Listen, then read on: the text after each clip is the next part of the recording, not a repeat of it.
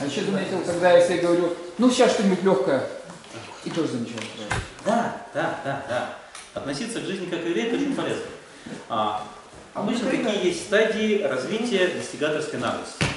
Когда человек только вот начинает разворачивать корабль своей жизни, с того болота в сторону видения, обычно человек сперва ну, начинает замечать, что там ему хоть как-то повезло. Его, начало это удивляет. Когда отсюда сюда, ой, повезло, и опять повезло, снова повезло, опять повезло. Потом человек, он- человек к этому привыкает. Повезло, повезло, повезло, нормально. Желания сбываются, жизнь это веселая игра, все происходит как обычно.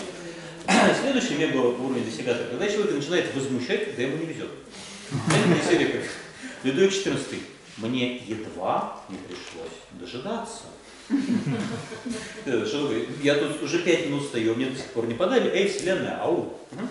Но это вопрос привычки, вопрос того, чтобы отслеживать, что вам нравится.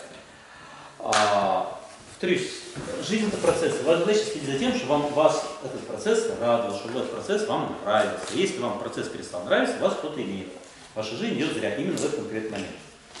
Повторюсь, игра это когда вам нравится процесс, он приносит вам удовольствие, и вы можете в любой момент соскочить. Потому что если все, вы обязаны подписались на 10 лет контракт, это становится суровым достигаторским покупательским мероприятием. В такие вещи лучше не влазить. Мы послезавтра будем про это говорить, какие могут быть варианты целей, и какие имеет смысл э, включаться, а в какие лучше вот подальше, подальше и как-нибудь без этого.